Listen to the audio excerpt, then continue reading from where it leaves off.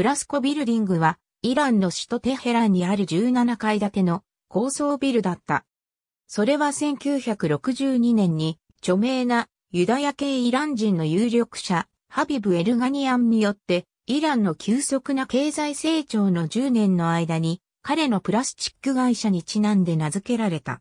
1階に大きなショッピングセンター、上層階にはレストランがあり、いくつかの衣類の工房がある住宅や商業用の建物として使われていた。建設当時はイランで最も高い建造物で、これはテヘランの象徴的なランドマークと考えられていた。2017年1月19日、現地時間午前7時50分頃、9階で火災が発生した。火災を鎮めるために10の消防署が到着した。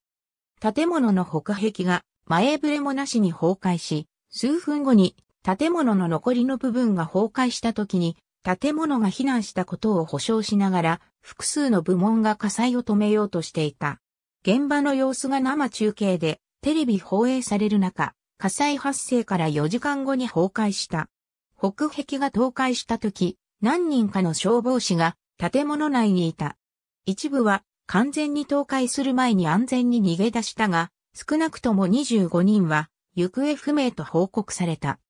テヘラン市長、モハンマド・バーゲル・ガーリーバーフは、崩壊時に他の民間人は誰もいなかったと信じているが、住民が保護区を越えて建物に入り、所有物を回収しようとしていると報告した。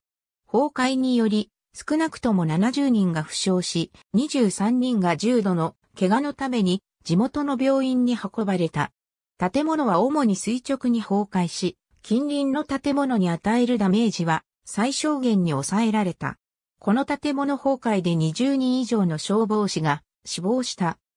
ガーリーバーフ市長は20人以上の消防士が死亡との発表をその後訂正、国営テレビに対し20人前後の消防隊員が人々を救出したが、内部に取り残された人がいないことを確認するため、建物内に戻った。仮想会に到達する前に、建物が崩壊し、一部がなくなったと述べた。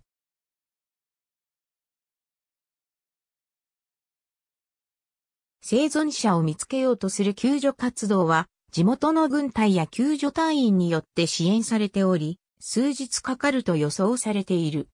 情報省大臣、マフムード・アラビーは、1月21日事故現場を視察。この事故は、決してテロによるものではないと述べた。プラスコビルディング炎上倒壊事故に関するカテゴリー。ありがとうございます。